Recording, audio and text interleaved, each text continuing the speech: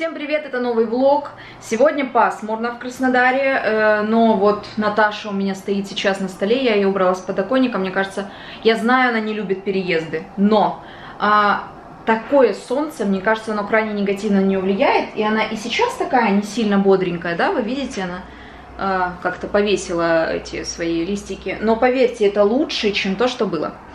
Циричка, малыш, малыш, Тити Бозик, кто зевает, какой ребенок. Замечательный ребенок. Кто кусал меня сегодня, а? Кто за руки меня кусал сегодня? Я хочу вам показать, э, да, порода специфическая. И э, не все готовы к тому... Боже, посмотрите, у нее как будто рука человеческая. Ну это же просто не, не, невозможно. Не все готовы к тому... И нога красивая, и ногу показала. Ну, молодец. Не все готовы к тому, как эта кошка себя ведет э, с точки зрения обдирания различных предметов интерьера.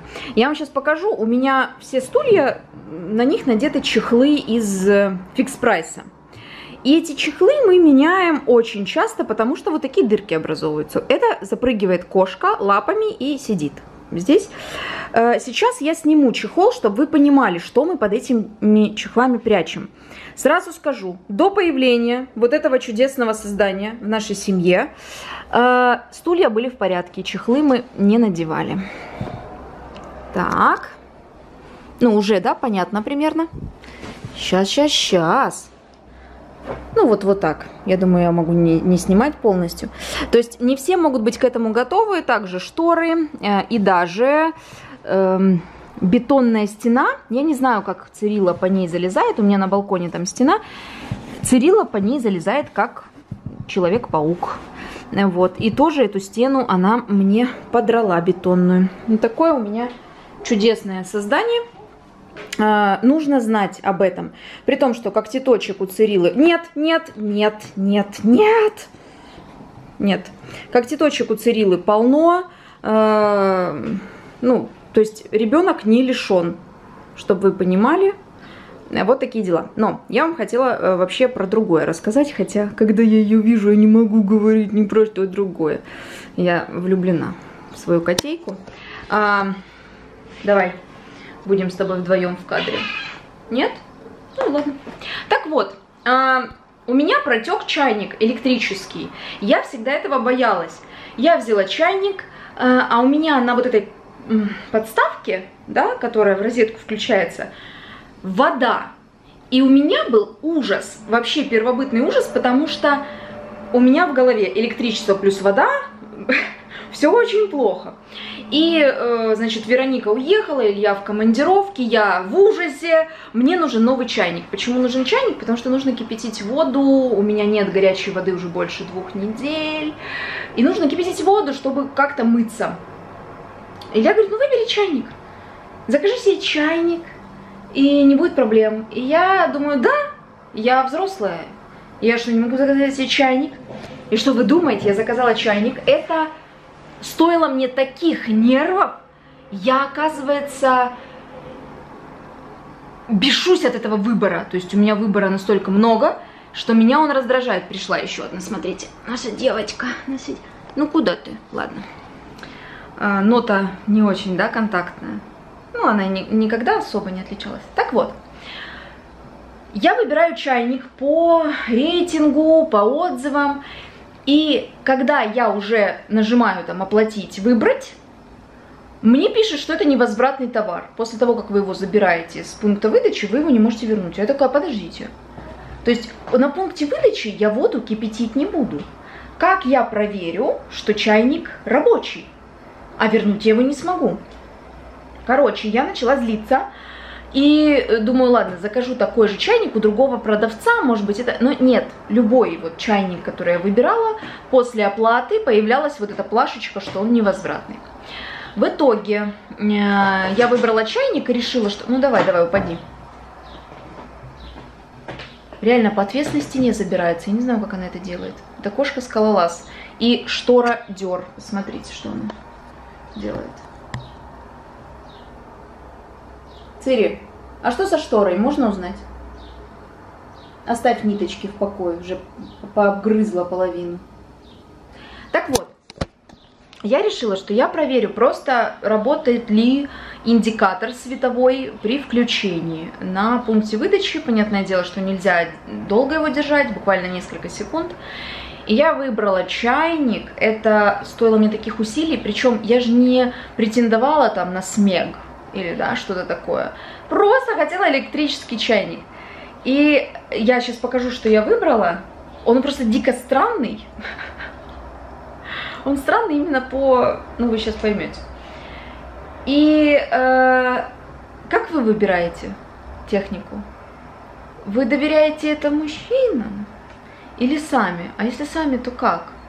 Я понимаю, что чайник это не, да, не какая-то высокотехнологичная техника, но тем не менее, я прям бесилась, пока мне нужно было этим заниматься. Сейчас я вам его покажу.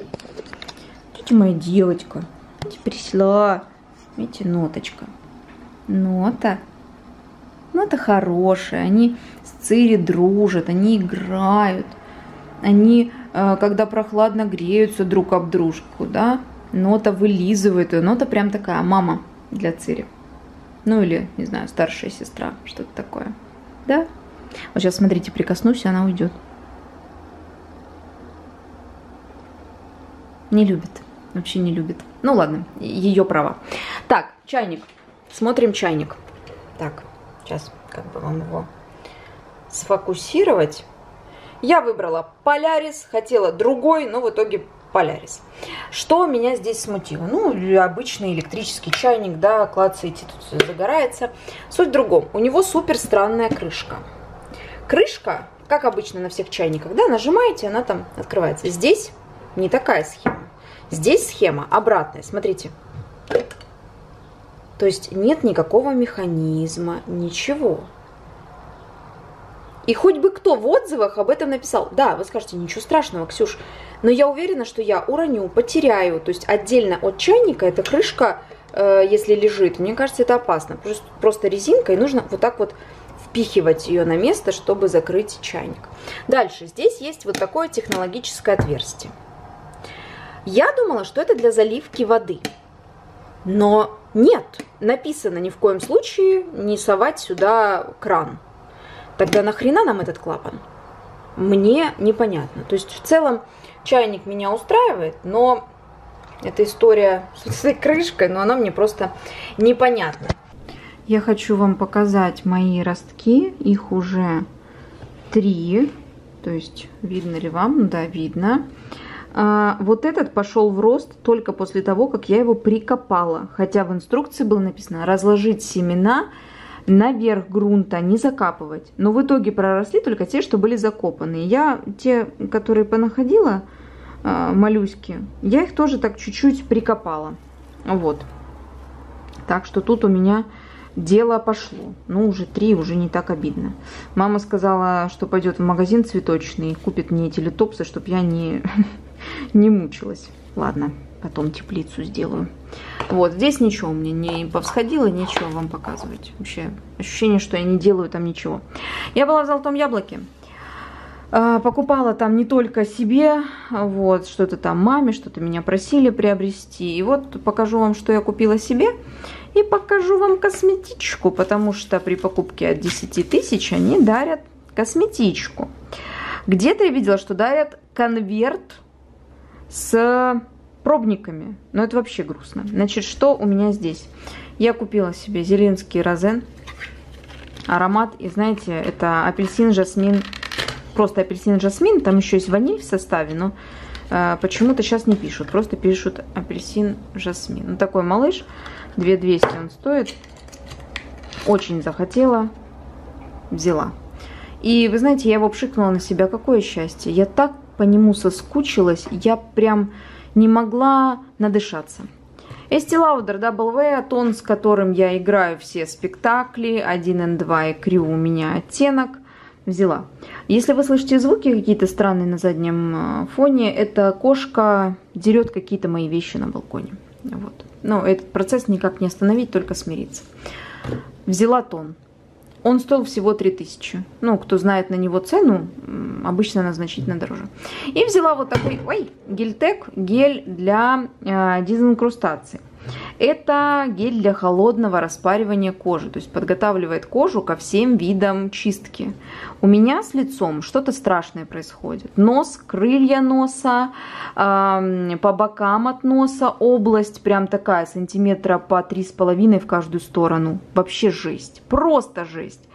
Э, я такого не помню, наверное, только когда я лежала в этом, в роддоме долго – и не ухаживала за кожей. Вот у меня было что-то примерно э, схожее.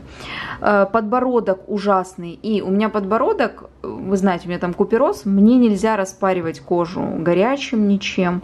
И вот я хочу попробовать э, холодную вот эту вот процедуру э, распаривания кожи, а потом я ее очищу, потому что то, что сейчас происходит, это неприлично. Но мы здесь собрались ради вот этого. Когда я увидела вот такой пакетик, думаю, вау, это чтобы никто не вскрыл мою лапочку. Но нет, оказывается, он просто вот так открывается. То есть это zip-пакет, это ну, никакой тут защиты э, не предусмотрено. Так, давай, доставайся. Посмотрим, что там внутри. Косметичка, слава богу, хотя бы не этот конверт с пробниками. Ну, давайте смотреть наполнение. Первое, что попадается, Байреда, это тюльпан, очень популярный аромат. Мама моя сказала, что пахнет мылом, мне пахнет красными тюльпанами вот этими самыми обычными. Не могу сказать, что фантастический запах, ну, цветочный, разумеется. От бренда Деоника вот такой гель для душа мужской саше, лайм и амбра. Чудесно. Это мы любим. Так, от бренда Ducray э, экстра мягкий деликатный шампунь для волос. Э, так, для детей, взрослых, младенцев. Ну, короче, какой-то там защитный шампунь для частого применения. Ну, посмотрим. Я не знаю, я вот... Я шампуни Сашей не понимаю. Вот я не могу распробовать. Ладно. Дальше. От мастерской Олеси Мустаевой крем номер 8 для век. 15 грамм. Большой достаточно. А, способствует увеличению увлажненности. Подходит в качестве основы под макияж. Ну, в качестве основы под макияж очень сомневаюсь. Вот такой. Малыш. Ну что ж. Я, честно говоря, к бренду мастерская Олеси Мустаевой отношусь очень-очень скептически. У меня какие-то ассоциации. Но это может быть только мое. Вдруг я влюблюсь. Но в любом случае в пустых банках расскажу вам. Так. Ставим еще одну баночку. Дальше. От Авен. Эм, гиалуроновый крем, дневной, восстанавливающий, неоцинамид и гиалуроновая кислота. Ну, это получше история. Дальше самое великолепное из всего этого набора. Вот такая расческа. При том, что я видела, что некоторым людям попадаются карты, предсказывающие, как пройдет день. И такие вот форматы игральных карт, э, там, вытягиваешь, как пройдет твой день. Ну, великолепно. Нам, нам, мне досталась вот такая расческа. Причем э, прикольная, удобная вот эта сумочка. Здесь есть карабинчик, и я уже примерила. Оказывается, сюда идеально входят солнечные очки. Я солнечные очки ношу в мешочках. А, это не сказать, что сильно удобно, поэтому я хочу попробовать вот такую сумочку. То есть сумочка меня прям интересует. Значит, расческа гребень для любого типа волос – не травмирует волосы, легко распутывает непослушные локоны. Ну, то есть это самая обычная пластиковая расческа. Ну, наверное, что-то можно и распределять. Можно найти применение. О, вот это, конечно, да. Бяка, который я не люблю. Э, Фоми, э, гель для душа, Мунграсс. Они везде его пихают. Это зло. Не люблю их, не нравится мне. Претензии вообще к этому бренду. Дарлинг, это от морщин патчи. с аргинином, алантаином, неоцинамидом. Вот такие чудесные патчи для глаз со смягчающим эффектом. Ну, то есть здесь э, на один раз два патча. Налепили, походили, все. Вы великолепны. Ну, сама косметичка, разумеется, нам остается. И еще вот от бренда Около. Бренд не дешевый, кстати. Хотя вот, да, около написано, и мы все думаем, что это русский бренд, но он не русский, я так понимаю. Сейчас. Эм, Организация, принимающая претензии, импортер. Так, сейчас. Э, изготовитель. Не могу прочитать. Корея. Вот. Я думала, если честно, что-то... Господи, европейская. Вот такая масочка с соевыми бобами, которая обещает нам лифтинг, увлажнение. Ну, короче, все как обычно. Но единственное, что я не понимаю, почему она была согнута. И здесь вроде как нет разделения двух частей, но при этом, если там на просвет ее смотреть, вроде как разное содержимое в двух масках. Не знаю, разберусь потом. Но вот, собственно, вот такое было содержимое этой косметички. Стоит ли за нее бороться? Ну, однозначно нет. Но если у вас и так запланированы были покупки. Вот я сегодня видела, что девчонки на 10 тысяч покупали бритвенных станков. Наверное, на всю общагу набирали. Э, не знаю, ну, наверное, что, с бритвенными станками ничего не случится, не испортится. Там, зубная паста тоже. И, э, как вот мой стилаудер, да, он мне в любом случае нужен. Ну, короче, не знаю. Думайте сами, решайте сами. Меня немножко так успокаивает, радует то, что кому-то достался конверт с вот такими, вот такими этими саше. Ну, это прям совсем смешно. Вот так. Если вы покупали и знаете, что там у вас в городе выдавали в качестве подарков, напишите обязательно в комментариях, почитаю, потому что любопытно. И я вам хочу показать кольцо. Я в каком-то эфире его показала, что я его заказывала, но вот оно пришло ко мне, и э, я должна с вами поделиться. Во-первых, я заказывала 17 размер.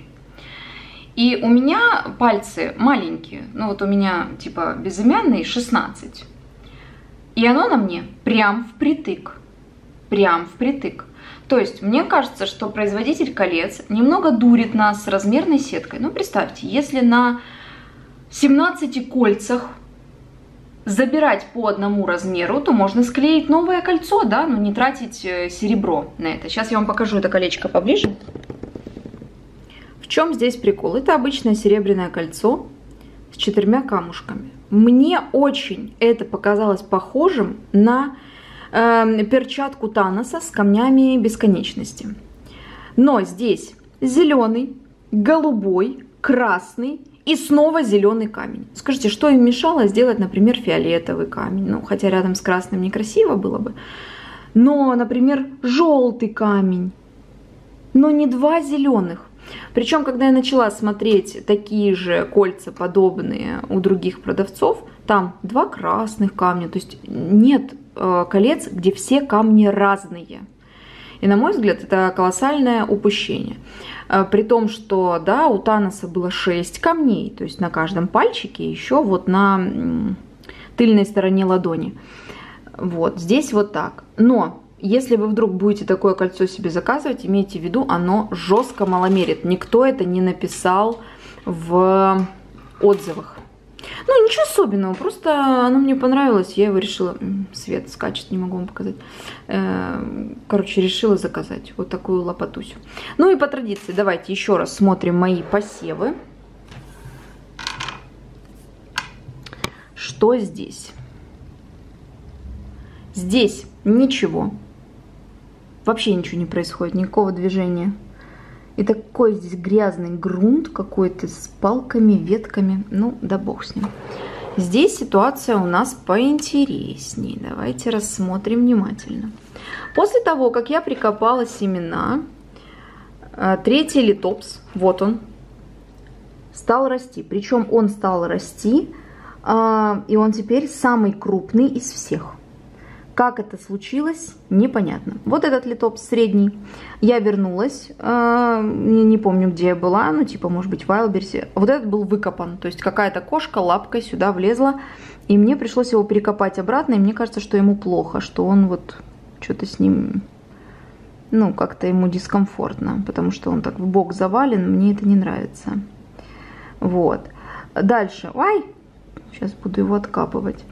Дальше вот этот литопс на длинной ножке, но мне сказали, что литопсы не должны вытягиваться в длину, вот они такие должны быть, как вот этот, то есть в ширину. Но время дадим им, посмотрим. Вообще три недели да, дают на всходы. Посмотрим. Я их посадила 8 июля.